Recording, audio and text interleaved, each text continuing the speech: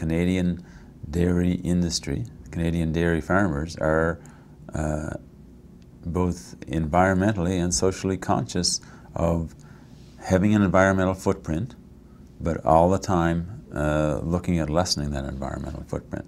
And that, you know, that there is a benefit, you know, there is an environmental footprint, but also remember that we're produce, producing a product that is highly nutritious and you know, is essential, uh, has been an essential uh, uh, component in nutrient requirements for Canadians for many, many years. We now have a benchmark of, we know where we are, we're always trying to improve within the dairy industry. You know, we're always trying to, you know, uh, improve a little bit. So unless you know where you've been, uh, it's hard to say, you know, yes, I am improving.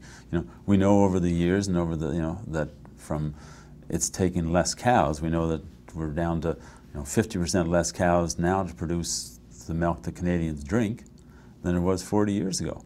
And less cows means less greenhouse gas uh, uh, uh, production. And with this information is that we know where there's some where there's some areas for improvement, and you know that's part of the, our ongoing uh, research that we're the next aspect of the dairy cluster research program.